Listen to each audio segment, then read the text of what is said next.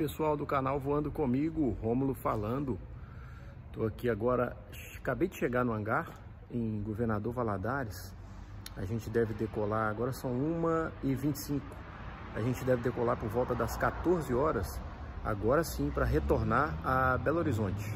O tempo tá bom, já dei uma pesquisada aqui, a rota tá muito boa, hoje está tranquilo para voar.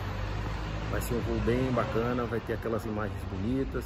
Vou tentar filmar a aproximação no Helicentro. Vou tentar mostrar também o nosso pouso lá no, no hotel que eu terei que pousar, né, na pousada. Eu vou pousar lá, deixar os passageiros e voltar para Belo Horizonte. Então fique aí, pessoal. Curtam, compartilhem, se inscreva no canal e aproveite o vídeo. Um abraço a todos. Bora!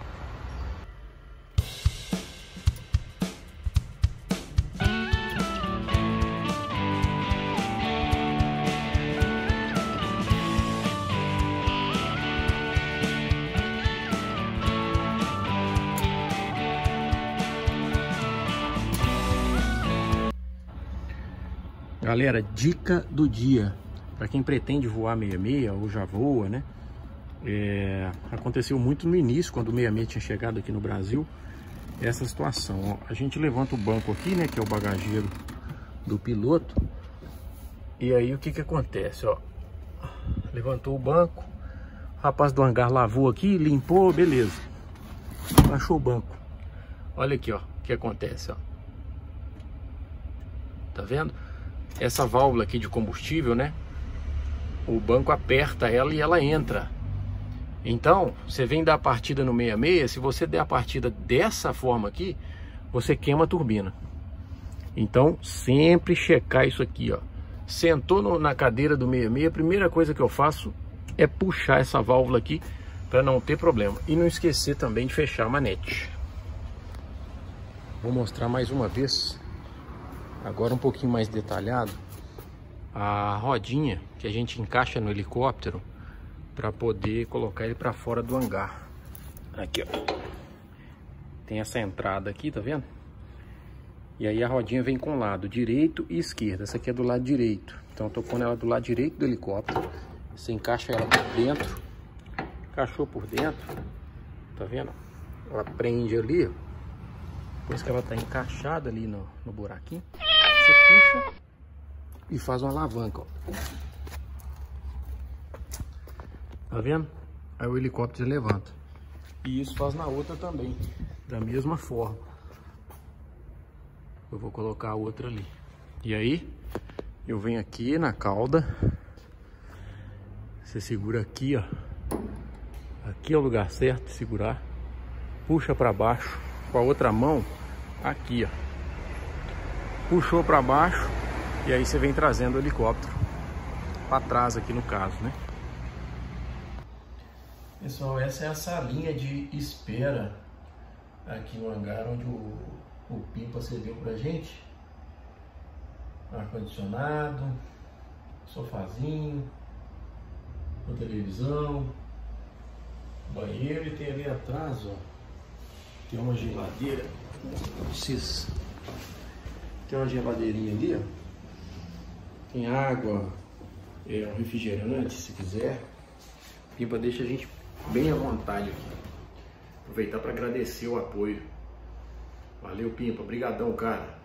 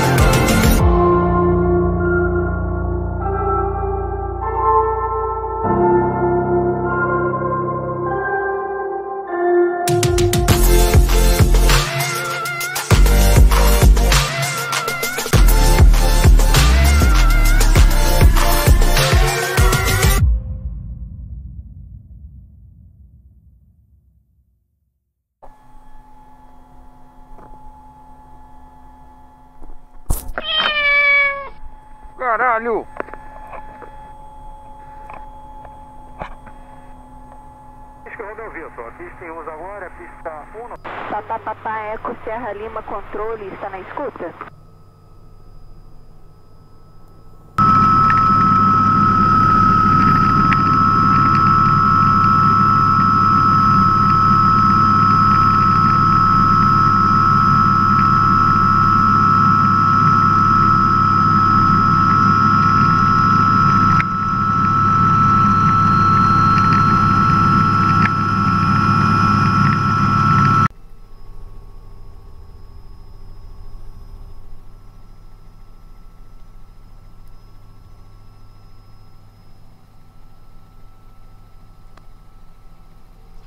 Controle Papapá Lima Hotel Charlie.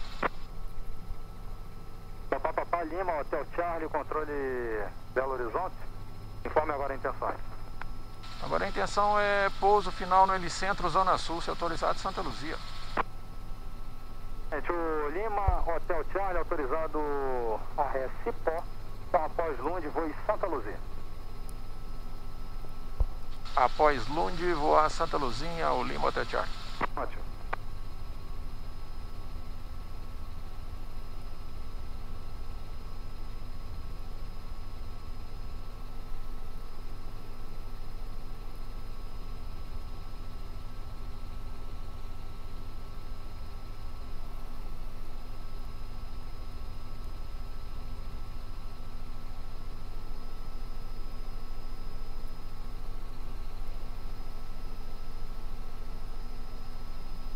Bom pessoal, tô retornando agora de Valadares.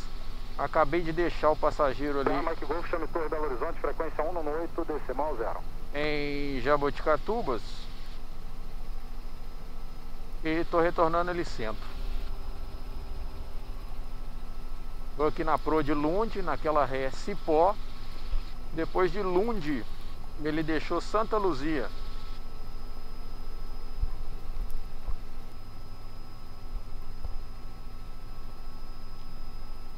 Eu coloquei a GoPro aqui perto para filmar, vamos ver se ela vai filmar do ângulo que eu estou esperando. E se a bateria vai aguentar, porque eu consegui fazer umas imagens do voo de lá para cá. Então, dois dias depois, eu estou retornando a Belo Horizonte. Eu saí de casa para ficar, para ir e voltar, né? Então eu saí na terça-feira e estou voltando na quinta-feira. 135 decimal 55, alterna 124 decimal 8.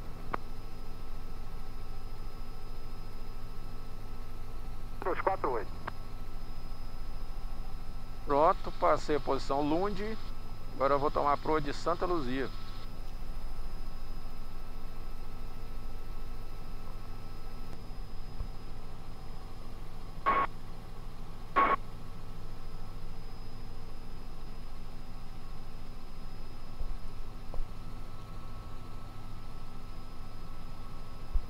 Bom pessoal, muita gente tem me perguntado né, como é que eu me tornei piloto. É, eu comecei na aviação com 26 anos, hoje eu estou com meus 34. E para quem não sabe, eu fui atleta profissional, fui jogador de futebol profissional. Dos meus 18 até meus 25 anos. E com meus 25 eu machuquei o joelho, fiz uma cirurgia e fui para o processo de fisioterapia mas durante esse processo de fisioterapia eu já estava pensando em parar de jogar futebol. Mas com o meu Vitor desça para 7 mil pés, QNH 1 Então, é, nesse processo, né, pensando o que, que eu ia fazer, eu sempre gostei de aviação. Antes disso eu tinha começado a faculdade de Ciências Aeronáuticas. Fiquei seis meses lá igual cego em tiroteio, porque para mim, a minha ideia da faculdade, eu sairia de lá piloto, então aprenderia tudo desde o início. Mas quando eu entrei já tinha muitos pilotos lá experientes, né? Muita gente já vivida na aviação e eu fiquei meio perdido nesse meio.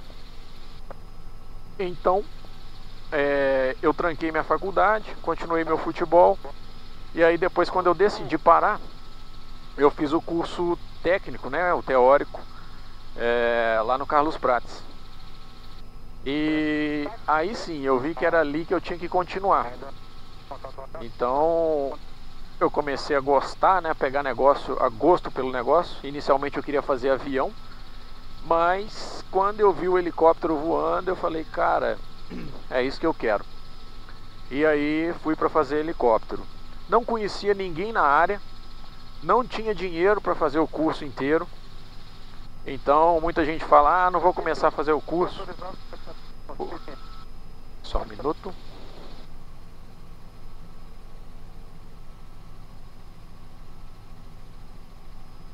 Hotel Charlie, chame Torre Belo Horizonte, frequência 198, 3.0. 180, Charlie. Então, eu não tinha o dinheiro para continuar para fazer o curso, né? E só tinha para fazer o teórico. E aí eu falei, eu, eu, quase caí no mesmo erro que todo mundo cai, né? Ah, eu não tenho dinheiro, não vou fazer não, como é que eu vou fazer isso? Deixa para lá e desiste. E eu fui conversar com minha noiva na época, né? A minha esposa atual, a Mirella. E ela super me animou, sabe? Não, começa a fazer. É, mais pra frente a gente vai arrumar dinheiro e a gente tem que dar o primeiro passo. E isso para mim foi super importante. Super importante. Aí eu continuei, fiz o curso e as coisas foram acontecendo, né? Eu a gente pegou um empréstimo ali, vendeu carro, e, enfim, corremos atrás do dinheiro e o dinheiro apareceu e eu consegui fazer o curso. Fiz o meu PP todo na Minas Helicópteros, aqui mesmo em Belo Horizonte. Fiz o meu curso teórico. O final do meu curso teórico de PC eu fiz na EFI. O prático todo eu fiz aqui na Minas Helicópteros, no R22 e suando para pagar as horas de voo, né? É, eu tinha dinheiro só para o PP. Então depois disso eu conheci o. Antes de, de, terminar meu PP, eu conheci o Luiz Jaga, que é o instrutor que eu falei no vídeo anterior. E ele voava um esquilo aqui em Belo Horizonte. E me chamou para voar junto com ele. Ele era instrutor da EFI na época. E eu comecei a voar esquilo sem nem ter voado 22 direito e 44. Então eu fiz meu curso todo no esquilo, chequei o meu PC no esquilo e eu tinha muito mais hora de esquilo do que hora de 22. Eu só fazia as horas de 22, as obrigatórias na escola. Deixa eu chamar, chamar a torre. Torre Belo Horizonte, muito boa tarde. Papapá Lima Hotel Charlie. Papapá Lima Hotel Charlie, pista 113, ajuste altímetro no 016. Mantenha a presente Pro e já autorizado o cruzamento do campo. Ok, no 016 ajustado, mantendo a presente Pro, autorizado o cruzamento Lima Hotel Charlie, muito grato. Então já autorizou a gente cruzar a Pampulha. É, enfim, continuando aqui, eu chequei no esquilo e depois que eu fui correr atrás das minhas carteiras de 44, de 66, então depois, pessoal, como eu estava dizendo... Torre, boa noite, papapá, Whisky, Romeu Vitor, na final do localizador. Papapá, Whisky, Romeu Vitor, boa piscina 3, a gente já tinha 0 no meio, tem livre pouso. Calma. Livre pouso na 1 no 3, vento calmo, Vitor. Aqui na frente é o aeroporto da Pampulha, ó. Vou fazer o cruzamento. Ele já autorizou o cruzamento. Então eu já vou direto aqui fazer o cruzamento. Na rodoviária, na rodoviária chama o controle, 191, né? Pro da rodoviária, rodoviária 291, no grato Charlie. Aqui o cruzamento da Pampulha. Aí pessoal, depois que eu fui correr atrás das carteiras de 44, 66, né? E por muito tempo eu fiquei com muitas, muito mais horas de esquilo do que hora de 44 e de 66. E aí logo depois é, veio aquela crise, né? Ninguém contratava ninguém, muita gente sendo mandada embora. É, eu não fiz meu INVH porque eu tive essa oportunidade de voar o esquilo e aí eu não fiz o INVH. Não tinha dinheiro né, para fazer o INVH e também os instrutores estavam todos sendo mandados embora na crise. Eu. O, o, o cara que tinha o esquilo comprou um 429 e eu comecei a voar o 429 junto com o Luiz como copiloto. Voei o 429 um ano É, a máquina maravilhosa, depois vocês pesquisem aí, o Bell 429. E depois o cara vendeu o 429 e vendeu o esquilo. Aí eu parei de, de voar, fui trabalhar no Helicentro Zona Sul, onde a gente vai pousar agora, é, como pista. E aí eu fiquei de pista lá um tempo e depois, é, enfim, no meio disso tudo também, eu vendi umas laranjas na estrada. Tinha um, um parente que tinha uma fazenda que produzia muita laranja, laranja sobrando, eu comecei a pegar laranja para vender na estrada para fazer meu curso de IFR. 32, passa o backtrack, autorizado ingresso final longa. Para terminar meu curso IFR, fiz o IFR todo, mas acabou que eu não chequei no 429 porque ele foi vendido. Deixa eu chamar o controle. Controle Belo Horizonte, o Papapá Lima Hotel Charlie passa a rodoviária e vai na Pro do Centro Zona Sul. Gente, Lima Hotel Charlie, contato radar 3500, rodoviária, reporte visual com local de pouso. Reportará visual com ele centro Lima Hotel Charlie.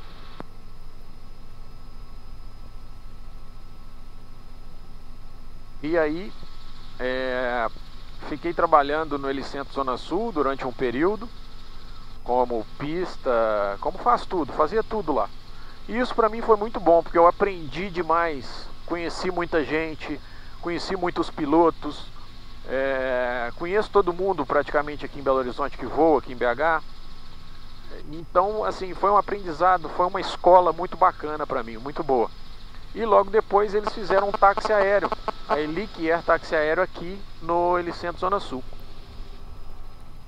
E aí eu virei piloto do, do táxi aéreo e fiquei como piloto do táxi aéreo durante três anos. Voei, fizemos voos panorâmicos em Capitólio, é, voo de executivo aqui em Belo Horizonte.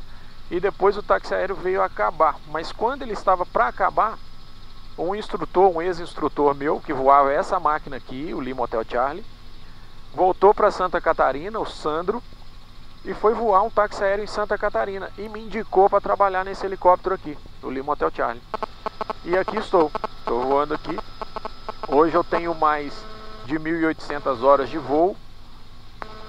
E agora eu vou pousar aqui e vou coordenar. Visual com o Helicentro Zona Sul e Manta Charlie. Seu Charlie, serviço radar terminado, frequência livre, bom pouco. Grato, bom trabalho, Charlie. Coordenação Helicentro Zona Sul, Lima Hotel Charlie na final, alguma aeronave? Bom pessoal, essa é um pouquinho da minha história. Estou aqui agora voando o Lima Hotel Charlie. Então, o que fica de lição é o seguinte: muita gente fala, ah, eu não tenho dinheiro, ah, eu não posso voar, eu não, eu não tenho condição, não conheço ninguém na área. Eu tinha todas essas características, todas. E aqui estou, estou voando. Tem oito anos que eu sou piloto e sou muito feliz nessa profissão. Então persistam, pessoal, sigam em frente. Não desanimem. Aqui a aproximação pro Helicentro. Tem um T2 lá abastecendo. Pista já está vindo ali para poder me balizar.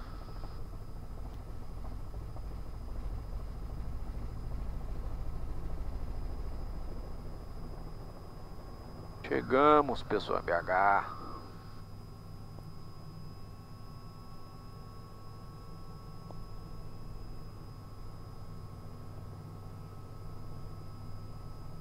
Fazer um pouso redondinho. Opa! Aí! Beleza!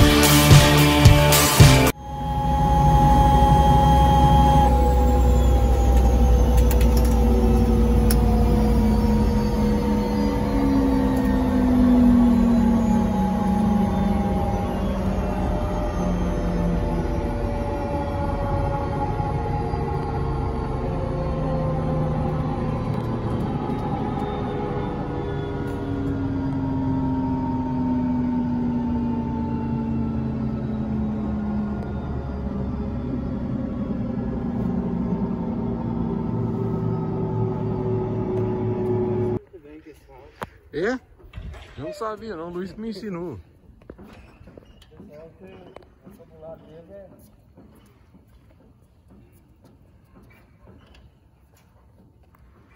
Pode vir que eu vou colocar lá de trás, a